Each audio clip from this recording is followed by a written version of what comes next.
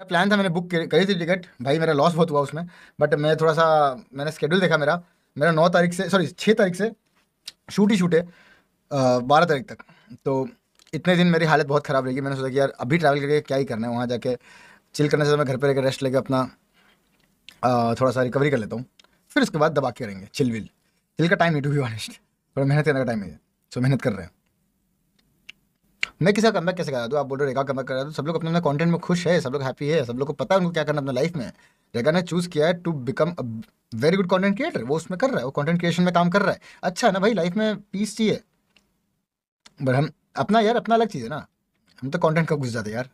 बहुत लोगों ने रिटायरमेंट ले ली। बट आई पर्सनली फील किया स्टिल गॉट इट मेरे को पता है, मैं कर सकता हूँ। मेहनत करूँगा तो कोई दिक्कत नहीं यार। और मेहनत करने की कोई एज नहीं होती है। सो मेरे को ऐसा लगता है, सब बोलते हैं, बहन कि उम्र हो गई है रिटायरमेंट ले लो यंग ब्लड नहीं है, मेरे को नहीं लगता ऐसा कुछ है यार। आँख सही है, मुँह सही है, कान सही है, हाथे चल, हाथ चल रहे हैं, और क्या चाहिए? करते रहेंगे मेहनत, क्या दिक्कत है? फीलिस वाले में टीएक ने गजब का मारा है। बहुत टाइम हो गया था प्रोसेस पे ट्रस्ट अब रिज़ल्ट की बारी। हाँ यार, देखो, अभी मैं आपको बताता हूँ।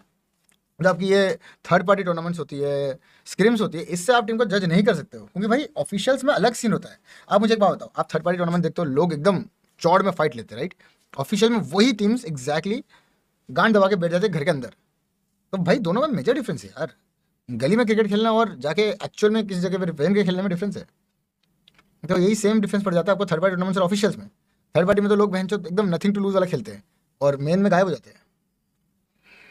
यार, लोग बैन वैन कैसे हो रहे हैं? आज भी कोई बैन हो ना बंदा? मेरे को समझ नहीं आता यार सब नए लॉन्डे बैन कैसे हो जाते यार? वो भी दस दस साल के हम तो कभी बैन नहीं हुए, बहन